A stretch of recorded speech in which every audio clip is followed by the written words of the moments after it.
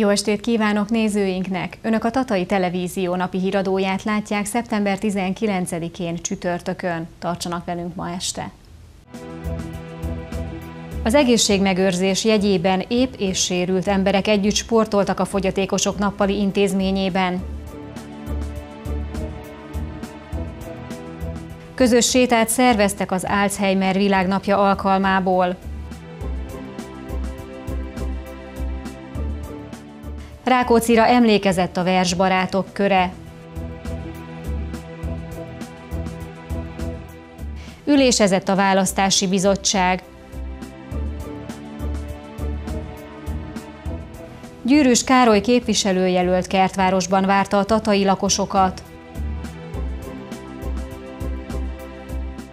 Dr. Varga András fórumával folytatódott a Beszélgessünk Tatáról sorozat. A Fogyatékosok Nappali Intézménye az Áhi Jóga Egyesülettel karöltve ismét nyitott esélynapot szervezett a tatai és a tata környéki fiataloknak és időseknek egyaránt. A program célja most is az volt, hogy rámutasson a sérült és egészséges emberek közös sportolásának, mozgásának pozitív hatásaira.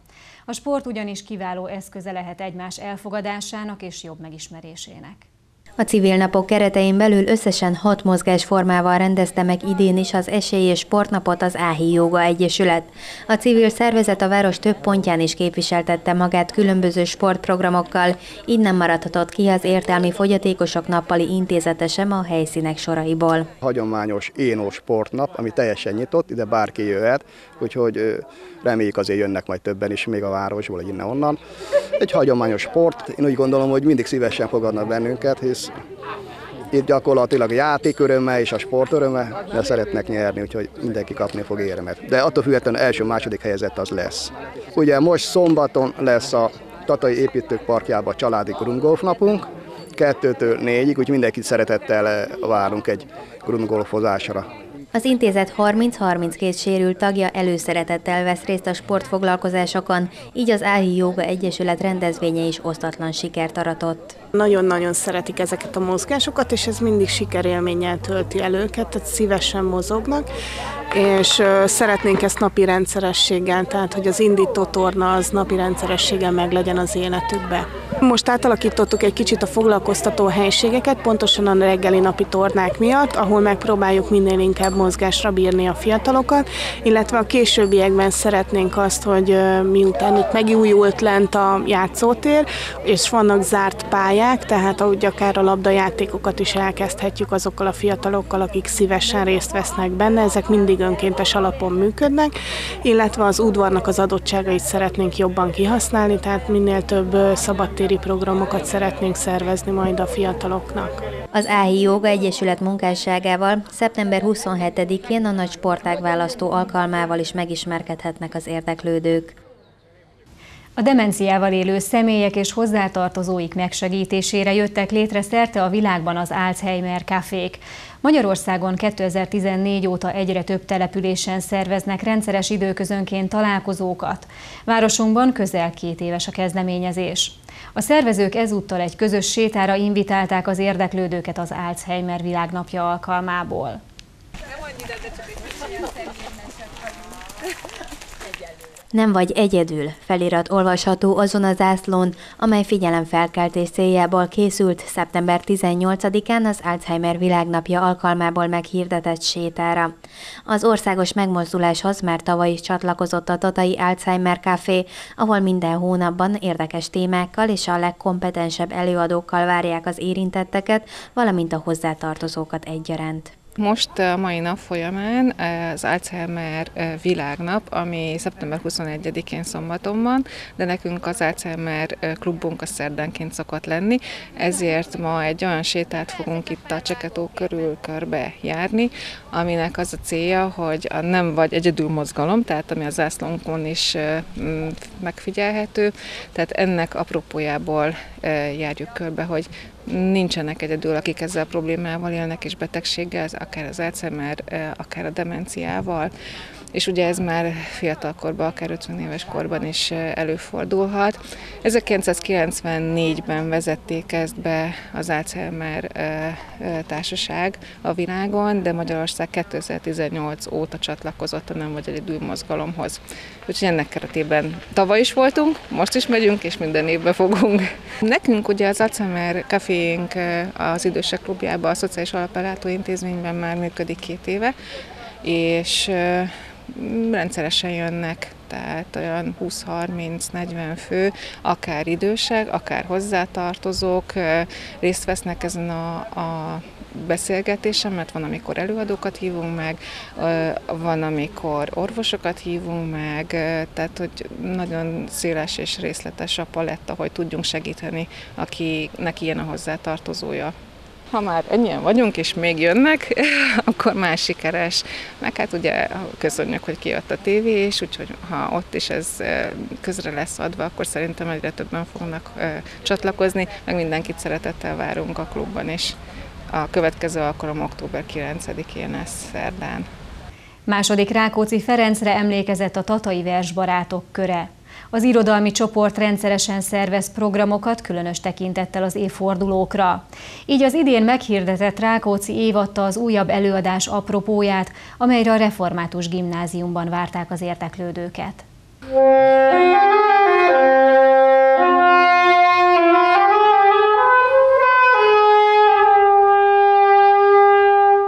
Rákóczi emlékévhez kapcsolódva egy zenés irodalmi estre invitálták az érdeklődőket a Tatai Versbarátok körének tagjai szeptember 18-án.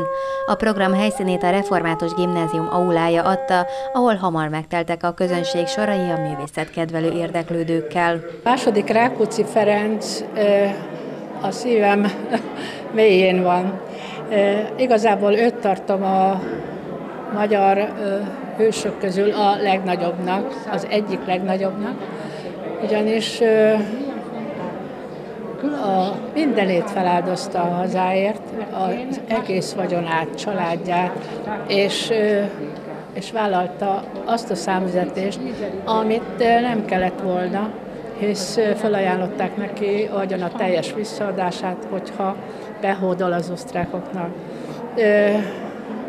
A nagyon örültem és boldog voltam, amikor az országban is eszükbe jutott a, az ország vezetőjének, hogy második Rákóczi Ferenc évet mindenképpen ezt az évet Rákóczi Ferenc évé kell nyilvánítani, ugyanis 315 évvel ezelőtt választották meg második Rákóczi Ferencet Gyulafehérváron Erdély helyedelmévé.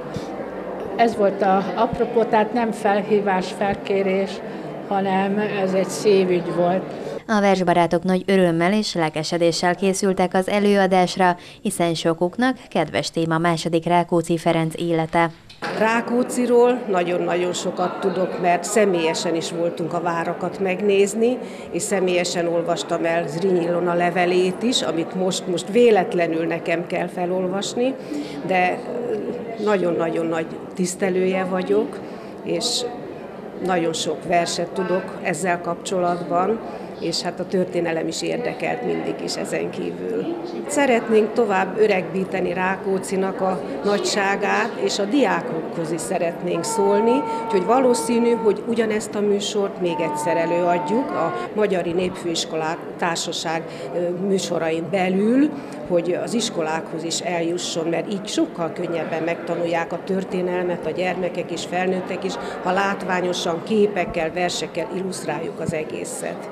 A versbarátok köre minden hónap első szerdáján rendez találkozót, de az előadás miatt természetesen több alkalommal is összegyűlt a társaság, hogy egy felejthetetlen műsorral kedveskedhessenek a tatai közönségnek. A továbbiakban választási híreink következnek.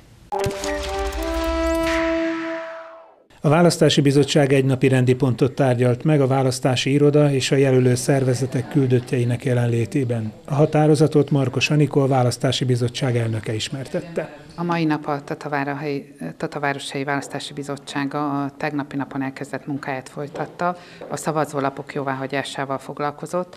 A tegnapi napon nem tudtuk a polgármesterek is az egyéni választókerületekét jóvá hagyni, mivel találtunk benne nyomtatási hibát, problémát. Ez a mai napra megoldódott, tehát gyakorlatilag az újra nyomtatott szavazólapokat már teljes körülön a jogszabályban előírt feltételeknek alaki, formátumú és tartalminak megfelelőnek találtuk, és így a bizottság ezeket elfogadta. Kertváros fejlesztési tervéről, gondjairól tartott utcafórumot ma délután a Fenyőtéren Győrűs Károly, a DK, a Jobbik, az MSP és a Momentum önkormányzati képviselőjelöltje. A rendezvényen jelen volt dr. Popovics Judit polgármester is. Károly fizikai munkás mind a mai napig, és ennek örülök, mert szerintem az nagyon hasznos, hogy egy város képviselőtestületébe olyan ember is dolgozhat, akik a kétkezi munkából élők problémáit jobban ismeri. Úgyhogy szavazzanak rá bizalommal október 13-án. A kertvárosiakkal sokat beszélgettem, de sajnos mindenkihez nem jutottam el. Igyekszem minél több emberrel személyesen is találkozni, még a választás előtt. Sokan felvetették, hogy szeretnének kertvárosban egy helyi gyógyszertárat, hogy ne kelljen minden gyógyszerért bemenni a városba. A beszélgetések során igény mutatkozott még egy bevásárlóközpontra is, ahol több mindent meg lehet vásárolni, nem csak az élelmiszereket. Sokan igényelték az ötös buszárat sűrítését is. Nehezményezték, hogy nincs olyan közösségi hely, ahol az emberek találkozhatnának egymással. Ezért szeretnék egy olyan helyiséget kialakítani Kertvárosban, ahol az emberek, főleg az idősebbek rendszeresen tudnának találkozni, beszélgetni. Többen jelezték, hogy hétvégeken a tóparti rendezvények miatt túl nagy a késő esti és éjszakai zaj, és nem tudnak pihenni. Ha képviselő leszek, kezdeményezni fogom az alszint szabályozását. Nagy gondok vannak a csapadékvíz elvezetésével, főleg a Széchenyi és Deák utca sarkán.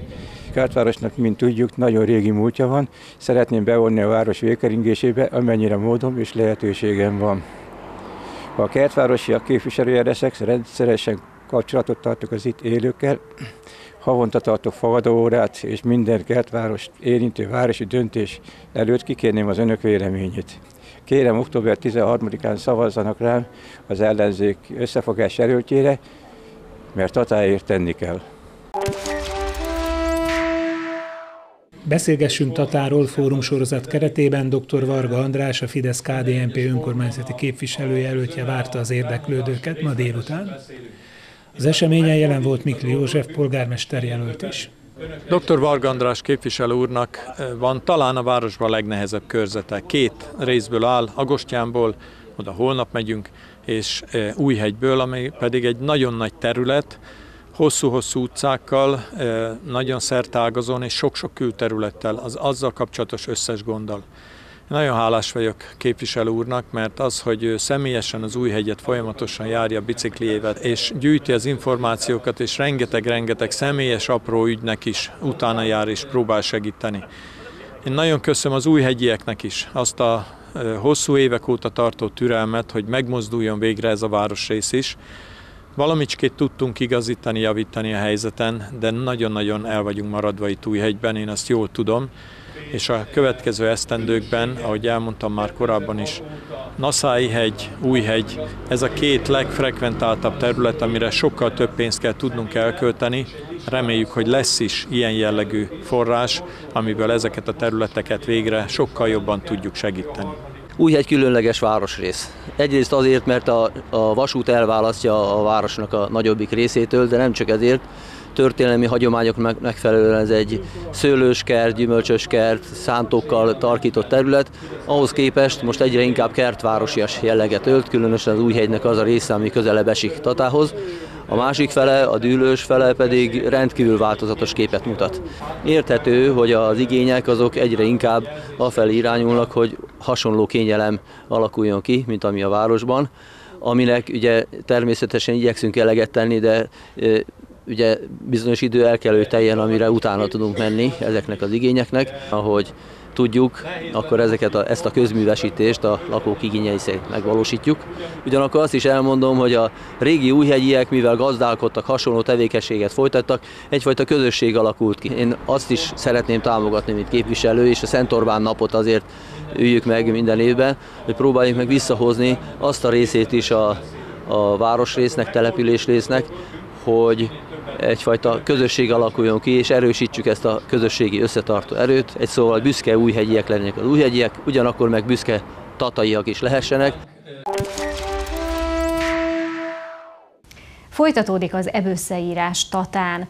Tataváros önkormányzata 2018. október-november hónapokban ebösszeírást végzett a városban.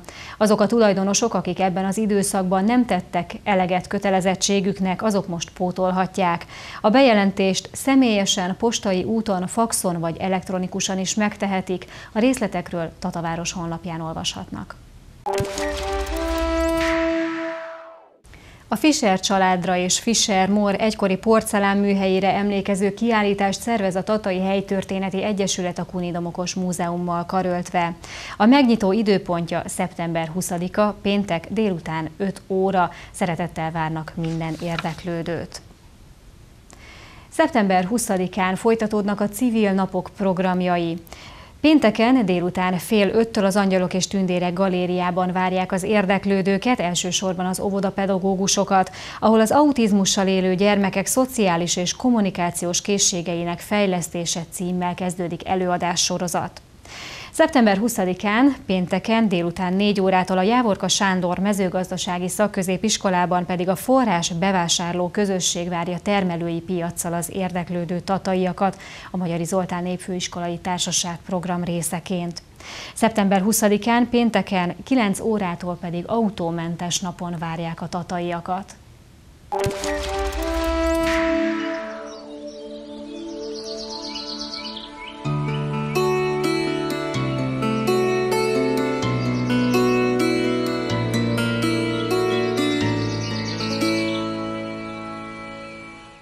Most pedig következzenek még egyszer mai híreink röviden.